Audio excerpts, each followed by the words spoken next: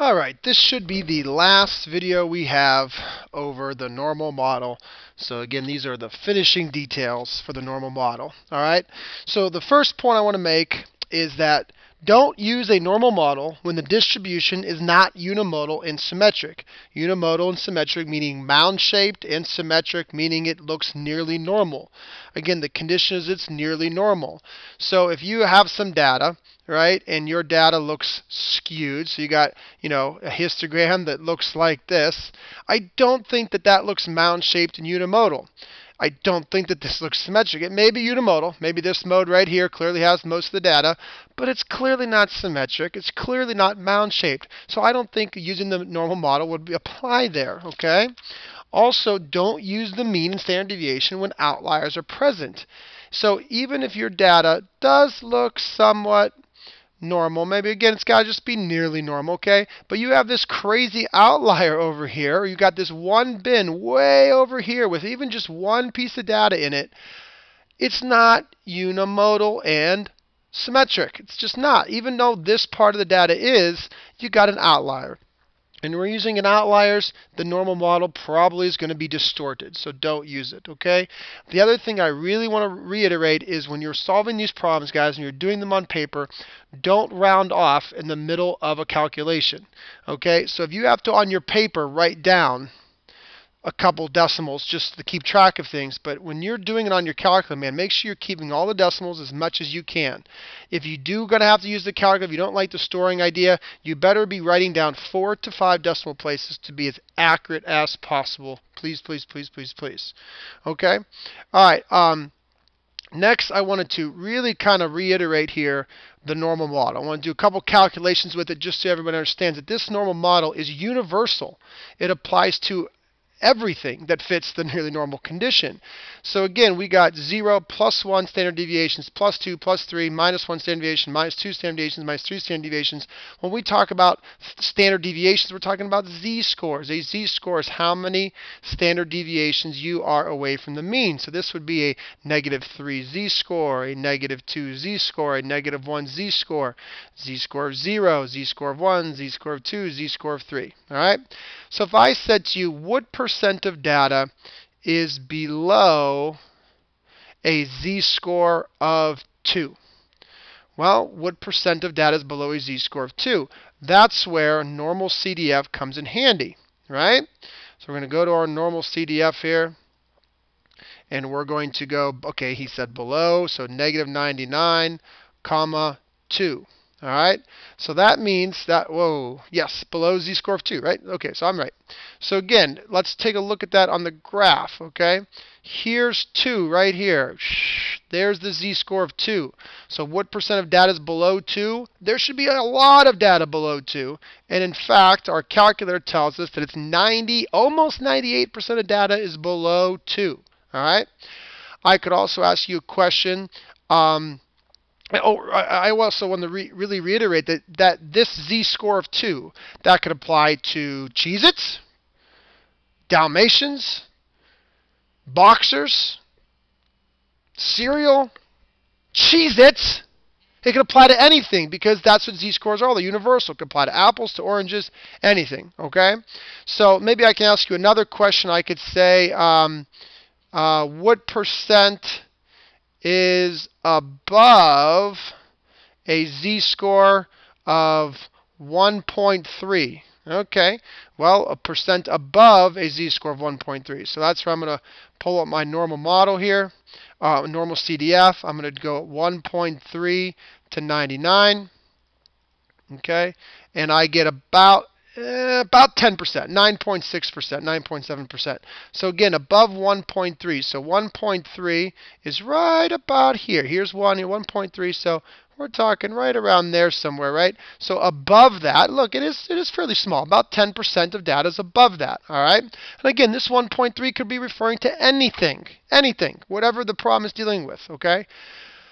Next, I could ask you something like, um, okay, a z-score of 0.25, right? Z-score of 0.25, right? 0.25, about right here, has what percent above it? Well, again, just use normal CDF. What percent below it? Use normal CDF. Okay, you get it? And the last thing I could do, and we've, we've already talked about this, I could say something like, um, you know, uh, 3% of data, whatever that data is, Cheez-Its, cereal, battery lives, months, anything, whatever. 3% of data is below what? Z-score. Okay? Now, uh, that's where the invert norm comes in handy. So 3% of data is below. Well, the, you know, likes below. So that's where you would go ahead and um, pull in the invert norm, and we would invert norm 0.03, and we would get that. It's negative 1.88. So again, negative 1, here's negative 2, negative 1.88 is about right here, right? So there's 3% of data below that. Very small amount of data below that. Again, the graph actually makes it look like there's probably more than there really is. That's a pretty small amount below that. So that's where those different things come in handy. But then again, these could these values can represent anything, and that's what I want to try to show you with this next example, okay? So let's say that we know that adult male Dalmatians which weigh in pounds, follow the normal model, and this is the um, what we use for normal model. You know, this is the, the notation we use, and this means that 52 is the mean, 3.3 is the standard deviation. So we have an average of 52 pounds, standard deviation of 3.3 pounds. Okay, so I can ask you several questions. I could say, what weight uh, is, or um, let's say, not say is, let's say marks the highest 5%. So what weights marks the highest 5%. So the first thing we gotta do is find out what z-score marks the highest 5%.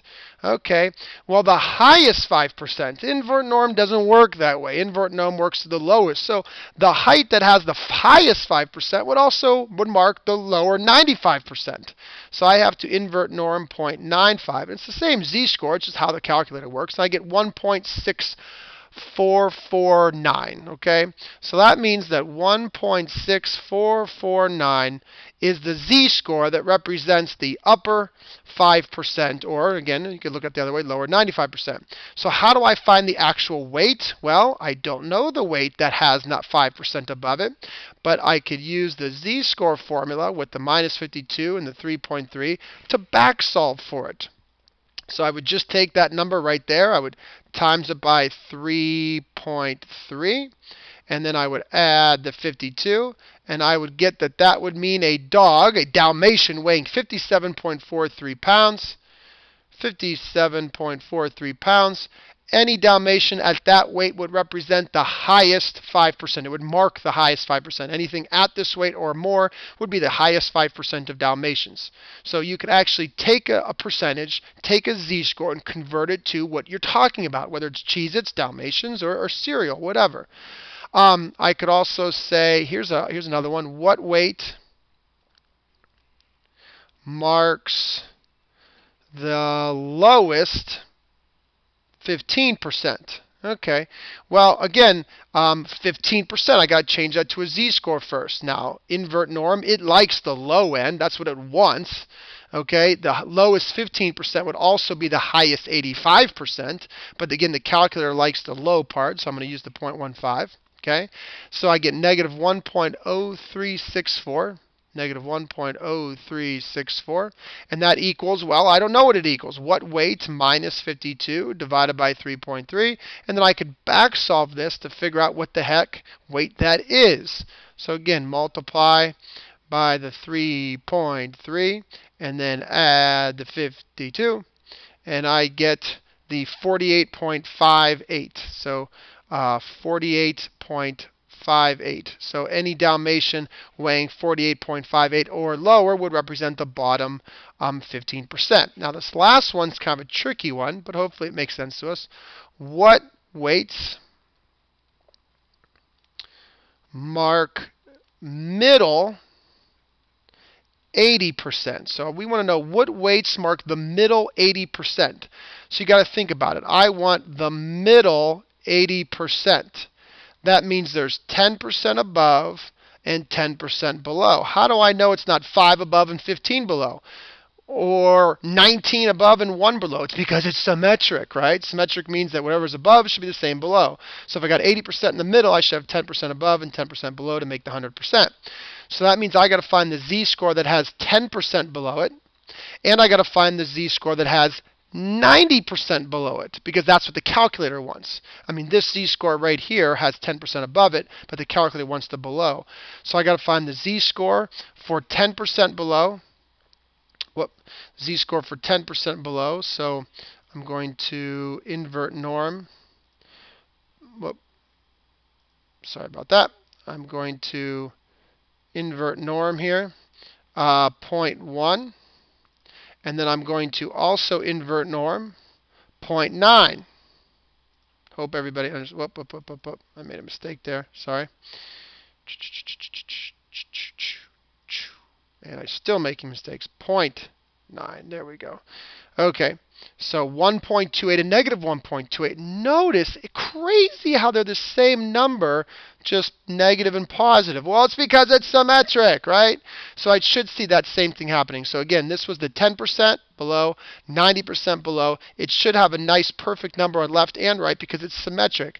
So I got to convert this number into a weight. So I would do the negative 1.28 equals what minus 52 divided by 3.3. I can get that actual weight. And then I got to do the same thing with positive 1.28 equals what weight minus 52 divided by 3.3. Okay, so again, I'm going to use some rough numbers here, but I should be using more decimals. But you take the negative 1.28 and you would multiply it by the 3.3 and you would add the 52 so uh, you'd get 47.78, and then I'm going to do the same thing with positive 1.28 times the 3.3, and I can even add the 52 right here because the calculator will know to do the multiplication first. And I get 47 points, uh, or, sorry, 56.22. So that means any Dalmatian, adult male Dalmatian, from 47.78 pounds to 56.22 pounds would represent the middle 80%. So as long as you're a Dalmatian that falls into that um, particular range, you represent the middle 80%. So hopefully all that makes sense, and that's kind of the, the finishing details we're putting on here. Um, remember, standardi standardizing uses the standard deviation as a ruler to measure distance from the mean. These are z-scores, okay? Using these z-scores, we can compare apples and oranges values from different distributions or values based on different units. That's the beauty of this uh, normal model is that it allows us to talk about ounces of Cheez-Its versus pounds of Dalmatians, okay? And a z-score can identify unusual or surprising values among data. Again, anything outside of 2, negative 2, or positive 2 would be what we consider unusual, okay? So hopefully this makes sense. Um, remember the importance of thinking about whether a method will work. We can decide whether a normal model is appropriate by checking the nearly normal condition. We could check it with a histogram. Remember, a picture of the data will tell us if it's normal or not or at least nearly normal. And don't forget about the empirical rule, which we call the 689599.7 rule. But again, we got this great feature on our calculator that can do a lot of that math for us. All right.